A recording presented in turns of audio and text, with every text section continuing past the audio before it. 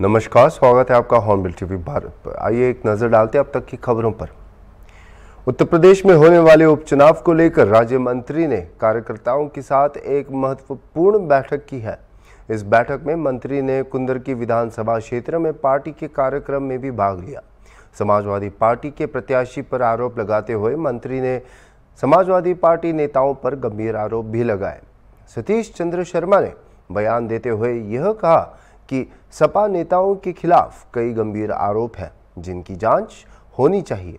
यह बैठक थाना मुंडा पांडे क्षेत्र में आयोजित की गई, जहाँ मंत्री और पार्टी कार्यकर्ताओं ने आगामी उपचुनाव के लिए रणनीतियों पर चर्चा की।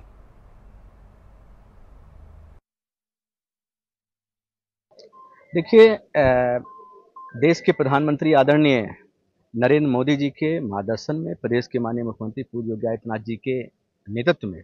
उत्तर प्रदेश 2017 से निरंतर विकास के पथ पर अग्रसर है। पूरे देश के अंदर उत्तर प्रदेश आज तेज़ी के साथ आगे बढ़ रहा है।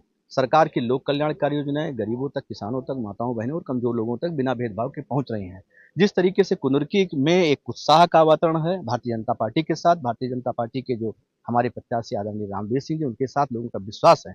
मैं समझता हूँ कुनरकी सभी सहित सभी नौ सीटों पर भारतीय जनता पार्टी का कमल खिलेगा। देखिए, समाजवादी पार्टी के चरित्र के बारे में आप सब लोग पहले से अवगत हैं। 2017 में जब हम लोगों ने देखा किस तरीके से सत्रह से पहले समाजवादी पार्टी का गुंडा राज था, माफिया राज था, और किस तरीके से माफियाओं को प्रोत्साहन दिया जा रहा था, इसी से त्रस्त होकर भारतीय जनता पार्टी को जनादेश मिला था उत्तर प्रदेश की सम्मानित जनता ने दिया था।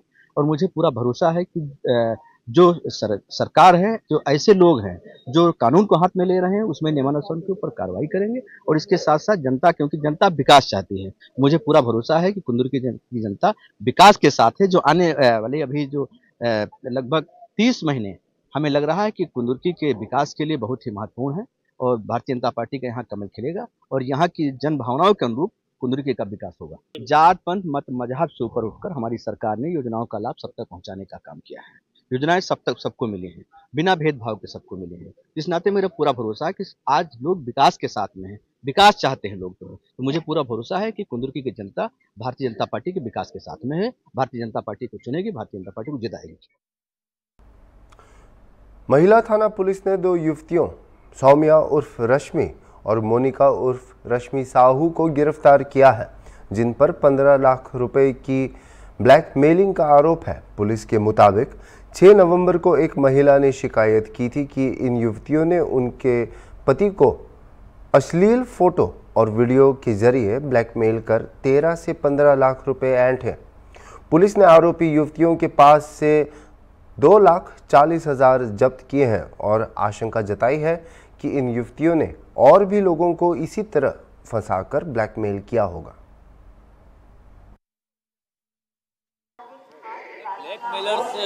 दो युवतियों को गिरफ़्तार किया गया। क्या पूरा मामला आ, मामला ये था कि एक लता ठाकुर नाम की महिला एक आवेदन लेके लिखित आवेदन वो सॉरी टाइप शुदा आवेदन लेके आई थी।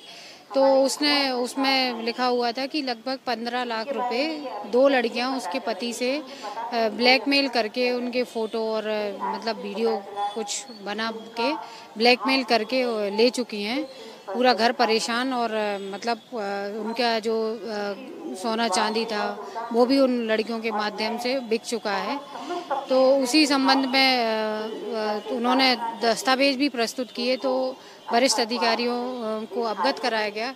तो वरिष्ठ अधिकारियों के आदेश अनुसार वो कार्रवाई की गई, जिसमें अपराध पंजीबद्ध कर विवेचना में लिया गया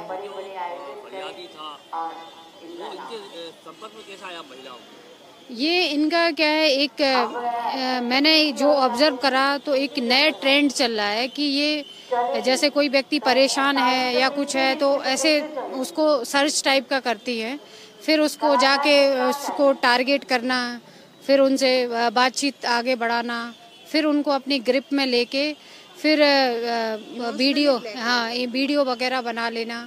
तो फिर जाके मतलब उनसे जो भी इनकी मांगे हैं पैसे हैं या और अन्य चीज़ जो भी इनका रहता है तो वो करती हैं जो कि गलत है। अभी तक की पूछताछ में वो कुछ बताया कि कितने लोगों के अपनी राय में? अभी तक की पूछताछ में उन्होंने ऐसा तो मतलब कुछ नहीं बताया लेकिन हाँ काफ़ी लोग हो सकते हैं और भी आगे। यूपी के शाहजहांपुर ज़िले में गंगा घाटी की ओसीपी संस्कृति से जुड़े 4500 साल पुराने तांबे के हारपून पर आदिशिव की चित्रकारी मिली है।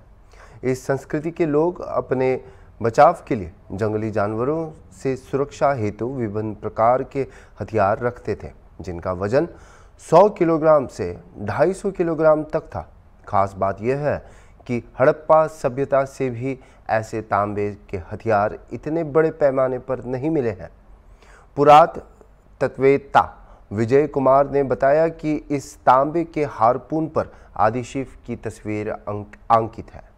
इस संस्कृति के लोग भाले, तलवारें, आरी, चाकू जैसे विभिन्न प्रकार के हथियारों का इस्तेमाल करते थे। इसके अलावा लोग युद्ध के देवता गरुड़ और कार्तिकेय की मूर्तियों भी रखते थे।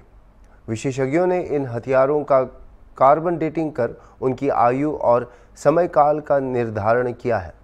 आइए देखते हैं ये विशेष रिपोर्ट। दो देवता जो है पहचाने जा सकते हैं इसमें। एक तो गरुण, जो बाद में विष्णु का वाहन बना, और इससे पहले जो देवता थे कार्तिकेय वो बाद में फिर बाद की माइथोलॉजी में शिव के पुत्र के रूप में दिखाए गए। ये इसका प्रमुख उद्देश्य ये होता था कि जब भी युद्ध में जाती थी सेना तो उस ध्वज लेके जाती थी अपनी। जैसे आप कभी रोमन आर, जो रोमन आर्मी को देखेंगे उसके चित्र देखेंगे तो हर आर्मी के साथ हर प्लाटून के साथ या हर बटालियन के साथ उनका ध्वज होता था सामने। ध्वज जो इस तरह का ध्वज नहीं होता था झंडा नहीं होता था वो पक्का इस तरह का बनाते थे, इसी को लकड़ी पे लगा के ऊपर से इसको ऐसा ऐसा रखते थे, इस तरह से उठा के रखते थे। तो उससे उनका आत्मबल अपना बढ़ाने के लिए और शत्रु का आत्मबल कम करने के लिए इसको ले जाने का ये उद्देश्य होता था कि हमारे जो सैनिक हैं, वो गरुण की तरह आक्रामक हों, उतने वीर हों, क्योंकि गरुण जो है, आप एक किलोमीटर ऊपर उड़ता है और वहाँ से डाइव लगा के वो सांप को पकड़ लेता कितना भी जहरीला सांप हो, लेकिन उसको गरुण पकड़ के मार के खा जाता है। इसको ये शहजाद राय संस्थान के हैं और वहीं पे इसको डिस्प्ले किया जाएगा म्यूज़ियम के रूप में। इसका जो, अभी जो आज की जो प्रेस कॉन्फ्रेंस थी, उसको दिखाने का ये उद्देश्य था कि ये इसका हथियार किस लिए प्रयोग किए जाते थे, उनके क्या देवी देवताओं थे और उन देवी देवताओं के आज के धर्म धार्मिक जो परिवेश है, उससे हम कैसे कनेक्ट कर सकते हैं? तो ये इसका प्रमाण है कि हम लोग जो प्राचीन धर्म था, वो आज के धर्म से मिलता जुलता था, उसी का विकसित रूप अब जो है, आजकल हम देख रहे हैं। उसके इवॉल्व रूप देख रहे हैं, उसके उद विकास जिसको कहते हैं।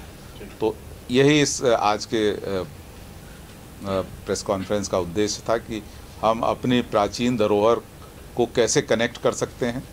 और कैसे निरंतरता है भारतीय संस्कृति में? कैसे जो है उस समय कबीलाई संस्कृति थी जब सारा कबीला एक होता था पूरा सशस्त्र होता था सस और आ, मिल के लड़ाई करता था और बहुत सारे जो गाँव होते थे जब सारे गाँव मिल जाते होंगे तो एक बड़ी सेना बनते होंगे। यही कारण है कि उत्तरी भारत में हड़प्पा का विस्तार नहीं हो पाया। हड़प्पा संस्कृति का विस्तार जो है यमुना के किनारे तक रहा या वो मेरठ सहारनपुर और मुजफ्फरनगर वाले इलाके में रहा। इसके आगे नहीं हो पाया विस्तार। तो निश्चित रूप से जब इस प्रकार के योद्धा मौजूद थे तो उनका विस्तार होना थोड़ा कठिन था। भारत में पहली बार 4500 वर्ष पुराने तांबे के हारपून पे प्रोटो शिवा की मुखाकृति पाई गई है। उसके बारे में ये प्रेस कॉन्फ्रेंस की, की जा रही है। इसमें जो आप ये हारपून देख रहे हैं ये हारपून है इस पर छोटा सा चेहरा बना हुआ है इसके हत्थे पे। तो ये उससे मिलता जुलता है, आपने हड़प्पा काल की जो एक सील है आदि शिव की सील है, उसी से मिलता जुलता चेहरा है। इसमें सींग बने हुए हैं। पहले देवताओं के जो, देवताओं को शक्तिशाली दिखाने के लिए सींग बनाए जाते थे। तो ये उसी से मिलता जुलता ये है। तो इस तरह की बहुत सारे हारपून मिले हैं पूरे भारत में। अभी तक पाँच छः जगह से रिपोर्टेड हैं। इसको अभी मैं दिखाऊँगा, इसके बाद स्लाइड शो के बाद वो डिटेल उसका मैं दूँगा। ये जो एक और मैं हारपून दिखा रहा हूँ आपको, ये बहुत बड़ा हारपून है। इसको बहुत बड़े जानवर को मारने के लिए प्रयोग किया जाता होगा। इसका आप साइज़ देख सकते हैं कि मतलब ये अगर ये किसी मनुष्य के तो दो बार आर पार हो जाए, ये इतना बड़ा हारपून है। और इसमें कम से कम दस किलो का इसमें शेफ्ट लगाते रहे होंगे। और जो भी इस हारपून को लेके चलते थे या जो इसका प्रयोग करते थे वो शरीर से बड़े बलिष्ठ रहे होंगे। उसमें से बहुत सारे लोग काफ़ी बलिष्ठ रहे होंगे। हम लोगों ने इसकी स्टैटिस्टिकल एनालिसिस किए जितने भी हथियार पाए गए हैं निगोही से। तो उससे उससे ये देख के पता चलता है कि तीस परसेंट लोगों की जो आ, उनकी साइज़ जो होती थी उनका वज़न होता था वो बहुत ज़्यादा होता था। वो भारी हारपून लेके चलते थे। तो उनमें से एक भारी हारपून का एक उदाहरण ये है। तो जो आ, अन्य बातें जो इस संबंध में मुझे बतानी है कि ये आदि शिव की मुखाकृति वाला हारपून ओसीपी कल्चर से संबंधित है। ओकर कलर, पॉटरी कल्चर, ये गंगा घाटी की संस्कृति है। और इसका विस्तार पंजाब में जालंधर से लेके अयोध्या तक था और उत्तर से दक्षिण में ये हिमालय और विंद विंद की पर्वतमालाएँ हैं। उनके बीच में स्थित जो गंगा का मैदान था और आरावली का जो उत्तरी भाग है और राजस्थान का जो उत्तरी भाग है, ये इस क्षेत्र में पाई जाती थी। ओसीपी संस्कृति का जो कालखंड है वो पाँच हज़ार ईसा पूर्व से लेके सत्रह सौ ईसा पूर्व तक है। और इस जो मैच्योर हड़प्पा, जिसको हम लोग हड़प्पा संस्कृति का बहुत नाम लेते हैं, उससे ये पहले से थी और उसके बाद तक रही। करीब 300 वर्ष बाद तक हड़प्पा संस्कृति के ख़त्म होने के 300 वर्ष बाद तक ये बनी रही। इस संस्कृति के लोग विभिन्न प्रकार के हथियार प्रयोग करते थे, जैसे भाले, तलवारें, छोटी तलवारें, जैसे अभी हारपून मैंने दिखाए, चिज़ल चिज़ल जिससे लकड़ी को काटते थे, आरी, गड़ासा, चाकू, कड़े, रापी का प्रयोग करते थे। हथियारों का जखीरा जो होता था, ये गाँव के बीच में जो सबसे सुरक्षित स्थान होता था, वहाँ पे रखा जाता था।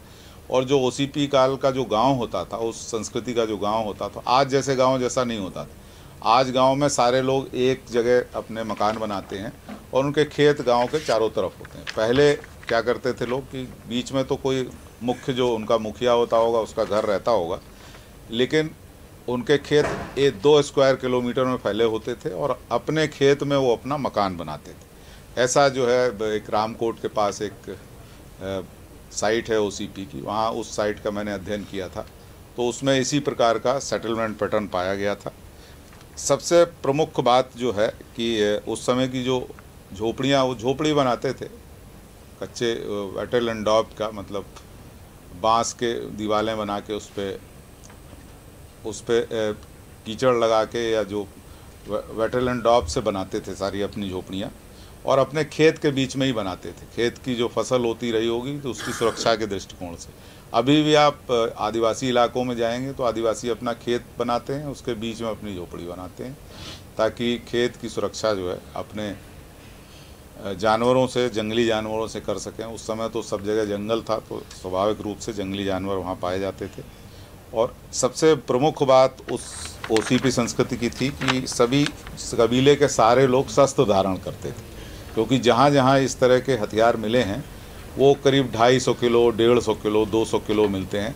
ऐसा लगता था कि तीर धनुष तो सभी लोग रखते रहे होंगे, लेकिन जो विशिष्ट हथियार हैं, ये उस समय का ए के फोर्टी सेवन है, जो जिसके पास भी ये होता होगा, उससे कोई लड़ने नहीं आता होगा, क्योंकि अगर ये किसी को धोखे से अगर छू भी जाए ये तो उसका जो है, उसकी मृत्यु सुनिश्चित है।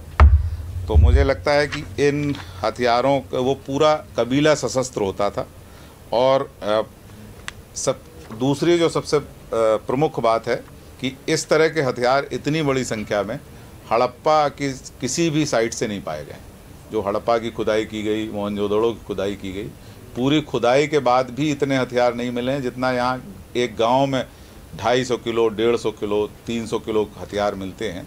तो ऐसा लगता है इनके पास तांबे का ज़्यादा स्रोत था। और ये तांबे के हथियारों का ज़्यादा प्रयोग करते थे और हड़प्पा की तुलना में ये इनकी धातु जो मेटलर्जी थी, वो ज़्यादा एडवांस थी। मेटलर्जिकल जो टेक्नोलॉजी थी, वो ज़्यादा एडवांस थी। इनका जो तांबा था, वो उत्तराखंड और राजस्थान से आता था, क्योंकि उत्तराखंड और राजस्थान में इनका प्रभाव था। और इसको देख के हम लोग ये कहते इसको पहले ढाला जाता था सांचों में, फिर ढाल के जो इसकी जैसे आप इसको देखेंगे पहले ये ढाला गया है, जो जो इसके ये दिखाई दिखाई पड़ रहे हैं, जो इसके कांटे दिखाई पड़ रहे हैं, ढलाई वाले कांटे। इसका जो लग है, ये ढल, ढाला गया है। और इसका जो शाफ्ट है, ये भी ढाला गया है। और इसका जो मिड रिब है, ये ढलाई वाली है, लेकिन इसकी जो ये धार है, ये पीठ के बनाई गई है बाद में, पीठ के, ताकि नुकीली बनाई जा सके, ताकि इसका प्रयोग जो है, युद्ध में किया जा सके या शिकार के लिए किया जा सके। तो इसको ढालते थे, फिर उसके बाद पीठ के इसको आकार देते थे। भोपाल के ऐशबाग थाना क्षेत्र में एक युवती से दुष्कर्म का मामला सामने आया है, जहाँ 19 वर्षीय की युवती से दुष्कर्म किया गया है। एडिशनल डीएसपी जोन एक, रश्मि अग्रवाल दुबे ने बताया कि ऐशबाग में आरोपी के खिलाफ एफआईआर दर्ज कर ली गई है। पीड़िता की युवक से मुलाकात कंप्यूटर क्लास में हुई थी, जिसके बाद आरोपी युवती को एक होटल में ले गया और उसके साथ दुष्कर्म किया गया। युवती और उसके परिजनों की शिकायत पर आरोपी युवक को गिरफ़्तार कर जेल भेज दिया गया है। फ़िलहाल पुलिस मामले की गहन जाँच कर रही है। थाना में एक तीन सौ छिहत्तर धारा में पॉक्सो एक्ट में प्रकरण पंजीबद्ध हुआ है।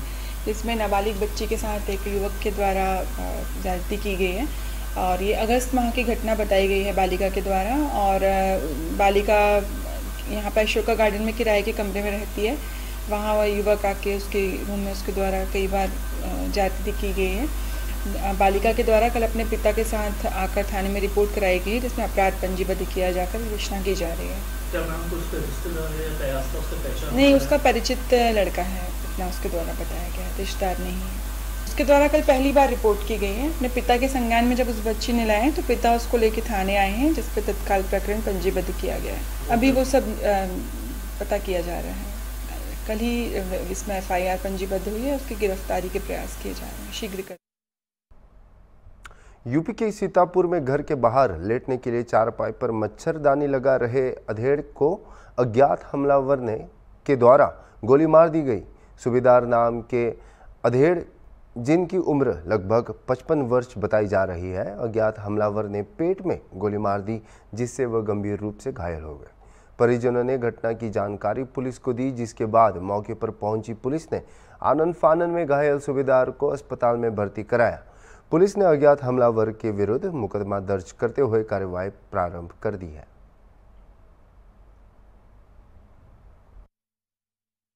कहाँ पर की बात है? चला चला चला। कहाँ पर की बात है? नहीं गौरा पर की कहाँ पर गिरना घर पर। घर पर? हाथा पर हाथा पहुड़ रहे हम पूजा करने लगे ना। हाँ। और बस जब हम पूजा जब कर तो धान गोली लागे अरे। नीचे हम तुरंत ऐसे आए ना है और बस इनका देखे न परे। और वह भाग तुरंत गन्नम फेल गवा है। आदमी। तो तनका जान नहीं मिला तू आए। अरे। दो मिनट नहीं है बस। तुरंत गोली दिए मार थाना रामपुर कला क्षेत्र अंतर्गत आज शाम लगभग छः बजे ग्राम गौरा निवासी सूबेदार उम्र लगभग पचपन वर्ष अज्ञात व्यक्ति ने, किसी ने उनको गोली मार दी। इस सूचना पर तत्काल पुलिस पहुँची और मजरूब को प्राथमिक उपचार के बाद बेहतर इलाज के लिए हायर सेंटर रेफर कराया गया है। अज्ञात अभियुक्त के विरुद्ध अभियोग पंजीकृत करके स्वाट सर्विलांस की टीम, थाना प्रभारी की टीम, क्षेत्राधिकारी के नेतृत्व में गठन करके शीघ्र ही अज्ञात अभियुक्त की गिरफ्तारी की जाएगी। अभी के लिए इतना ही, और खबरों के लिए आप देखते रहिए हॉर्नबिल टीवी।